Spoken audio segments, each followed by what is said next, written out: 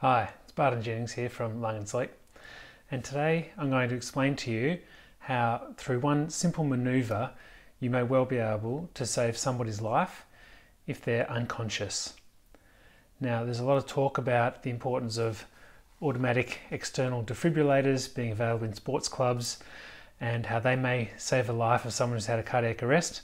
However, it may not always be available, and so if you're in a situation where somebody has fallen unconscious, even if that's in a hospital setting or if it's outside, there's a simple maneuver that you could perform that could potentially save someone's life and would be more important than any other intervention, especially while awaiting medical care or an ambulance.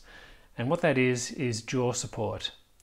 And so, what I mean by that is that when someone falls unconscious, often what will happen is that their neck and jaw will collapse down and obstruct their airway.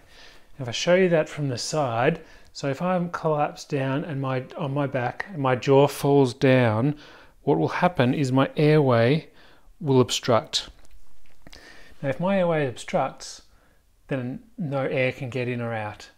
Now while I'm conscious or even while I'm asleep, I will be able to protect my airway. And so this happens in people with sleep apnea. When you have sleep apnea, your airway obstructs while you're asleep.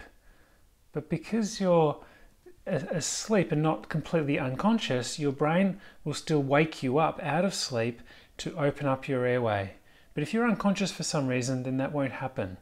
So what you need to do is you need to lock your fingers behind the angle of the jaw, just there on the person who's collapsed, hold their jaw and when they're in this collapsed position, hold their jaw forwards and up.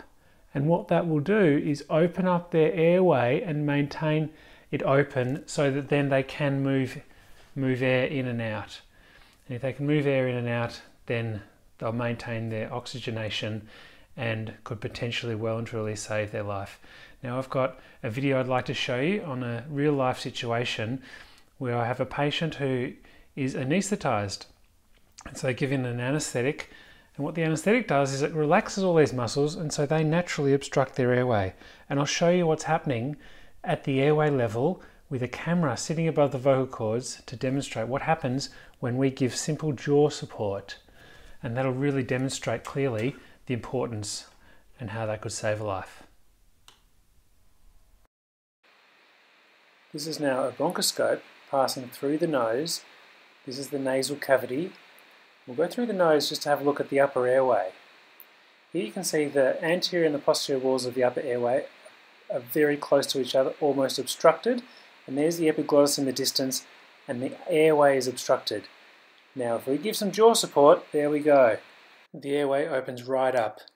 You can see now that that airway is patent, and the person can breathe easily through an open airway. There we can see the vocal cords in the distance. Once again, we'll just relax the jaw support and you can see again the airway obstructs. Put the jaw support back on and the airway is nice and patent. And there's the vocal cords leading down into the trachea and the airways. So I think that that visual of the upper airway, seeing exactly what happens when you provide jaw support is really helpful.